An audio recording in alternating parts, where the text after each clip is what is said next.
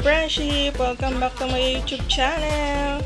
So today naman mag-unboxing tayo at i-assemble ko na rin tong order ko na computer chair. So tingnan natin kung ano yung nasa loob.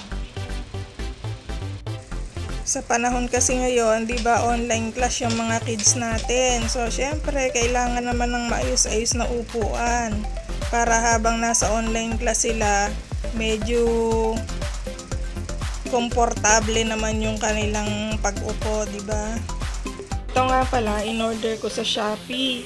So, ang price niya, 1388.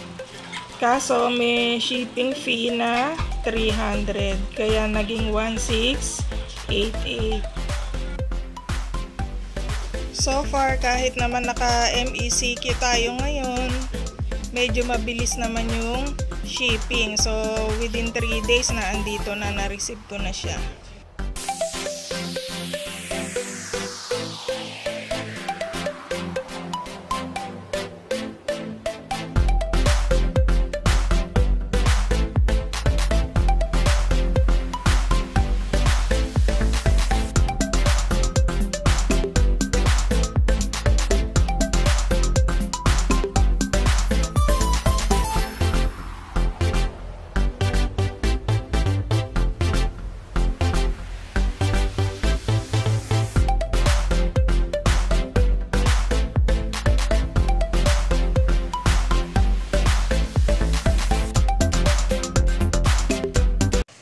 So, ito yung sandalan mga friendship.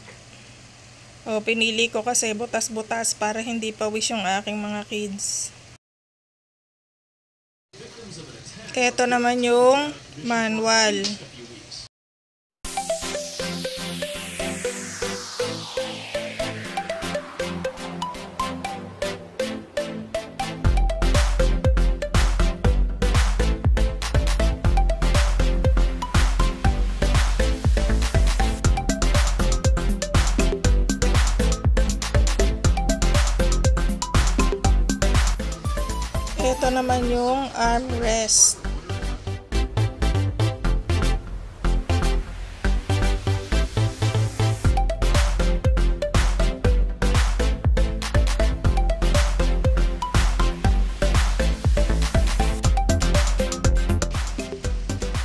Naman yung upuan.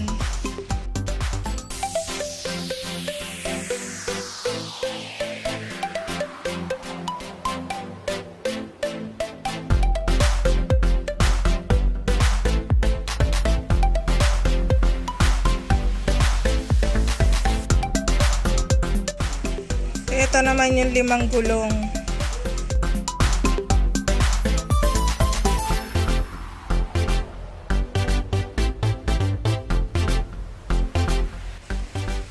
Ito naman yung mga screw, may free na din siyang allen wrench.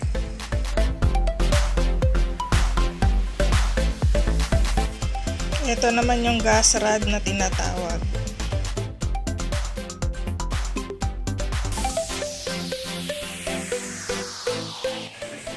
So, start na tayo. Check natin muna yung manual kung paano siya assemble. O, unahin daw natin tong paa. Tanggalan muna natin ang plastic.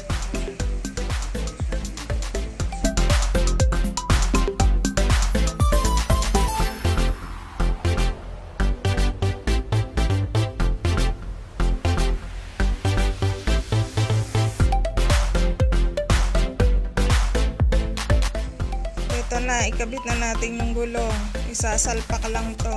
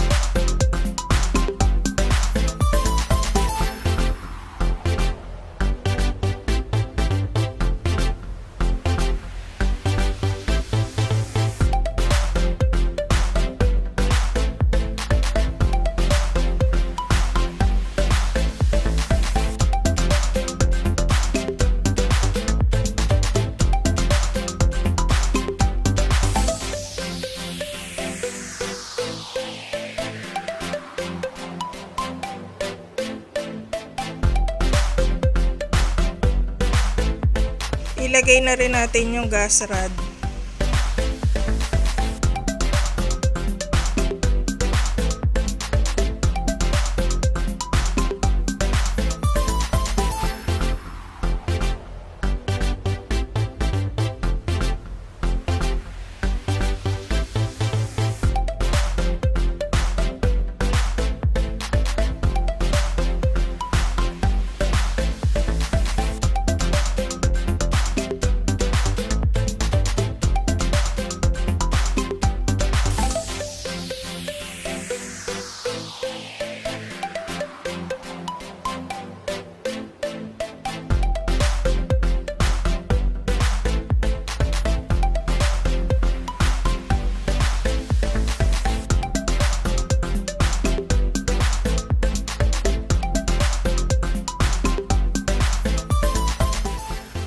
Iskro na natin yung armrest doon sa sandalan. So, yun daw ang uunahin ayon doon sa manual.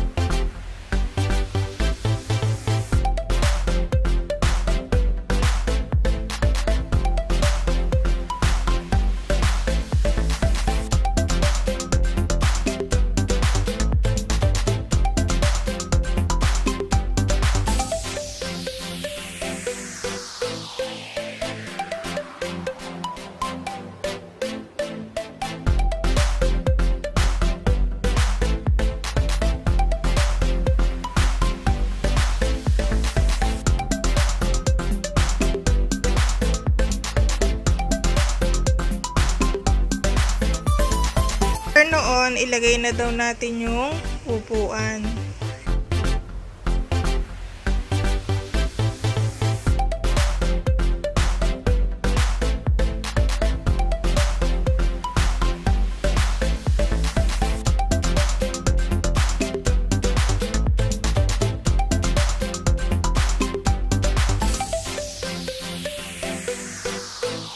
Tapos, start na natin siyang screw.